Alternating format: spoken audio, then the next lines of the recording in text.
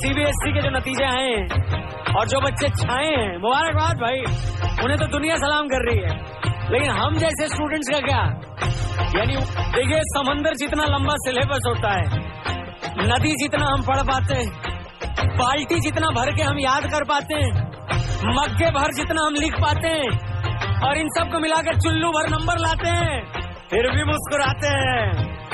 यानी एटीट्यूड के वजह से हैं